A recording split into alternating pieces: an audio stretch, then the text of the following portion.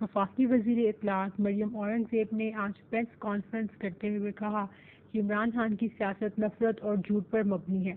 तफसीत के मुताबिक, वफाकी वज़ीर इतलात मरियम औरंगज़ेब ने प्रेस कॉन्फ्रेंस करते हुए कहा कि इमरान खान ने जो लिख कर दिया था शहबाज गिल ने वहीं पढ़ा। उन्होंने कहा कि इमरान खान कह रहे थे कि उनकी जमात के तोड़ने की कोशिश की जा रही है। आपके हुक्म पर शहदा के खिलाफ पूरी मुहिम चलाई गई। शहदा के खिलाफ मुहिम पूरी कौम ने देखी। मरियम औरंगज़ेब ने कहा कि आपकी पूरी सियासत फितना, नफरत और झूठ पर मबनी है। इमरान खान के चीफ ऑफ़ स्टाफ ने आपका दिया हुआ स्क्रिप्ट पढ़ा। शहदा के खिलाफ आपकी पार्टी ने मुहिम चलाई।